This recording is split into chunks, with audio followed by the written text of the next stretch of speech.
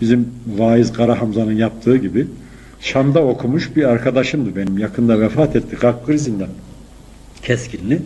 Çok enteresan bir tipti böyle. Lafını sözünü de çekmez. Biraz da gırgırı ağır bastığından fazla ciddiye alınmaz. Aslında çok ciddi de düşünceleri, sözleri olan birisi.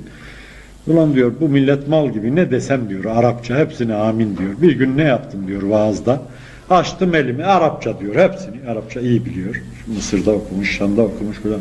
Sizin gibi anlayışsız kulağının yerine omuzlarını yani omuzunu lafa verenlerin Allah kahretsin, belasını versin diyorum diyor. Amin.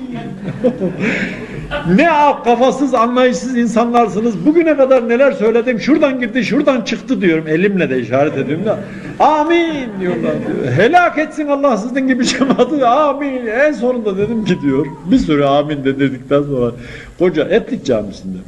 Ondan sonra deminden beri ben size neler okudum da amin dediniz biliyor musunuz dedim. Hiç kimseden ses yok. Başından sonuna kadar bela okudum sizin gibi cemaata dedim. Bu sefer Türkçe anladığınız dilden söylüyorum. Allah belanızı versin sizin mi dedim. Hiç amin yok bu sefer. Anlamadığına amin diyor, anladığına hiçbir şey yok. yani insanlar gerçekten hani şu enteresan bir olay ama yani genel gerçeği de çok iyi anlayış şey yapıyor yani ifade ediyor. Böyle yahu. Böyle olur mu?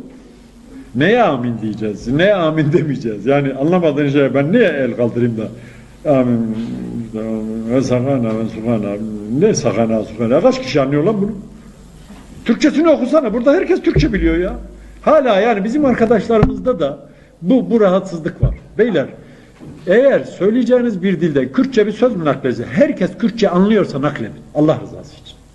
Tamam Hiç itiraz etmiyorum. Kürtçenin, Türkçenin, Arapçanın birbirine dayılığı, amcalığı yok. Ama bir şeyi yalnız siz biliyorsunuz da başkası bilmiyorsa varsayalım ki ben Fransızca bilsem de söyleyeceğim laflarını öyle Fransızcasını söylesem ne anlamı var bunun? Hiçbir anlamı yok. Üstelik de insanları komplekse kaptırıyor. Yani işte biz bilmiyoruz o biliyor. Daha peşinen bunu mu kabul ettirmek istiyorsun? Şu vaaz üslubundan kurbanınız olun. Ruhban üslubundan kurtulun ya. Türkçesini konuşun. Kaç kişi Arapça biliyor şunu? Kaç kişi belki.